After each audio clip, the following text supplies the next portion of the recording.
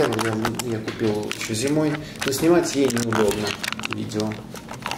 Каждые 30 минут она вырубается, я иногда просто некоторые не видел, когда она, когда она вырубалась, поэтому будем ставить обычно. Хотя она, конечно, хорошего качества снимает, но с другой стороны, эту картинку можно и так, за главное это. Да, Звук. Снимать программы обычные, которые снимают экран компьютера. Да, я думаю, что, наверное, так. Но, но лучше дублировать.